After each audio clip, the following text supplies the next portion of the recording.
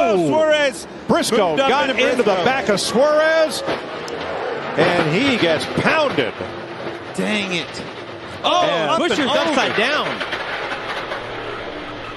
I think he hooked a drain.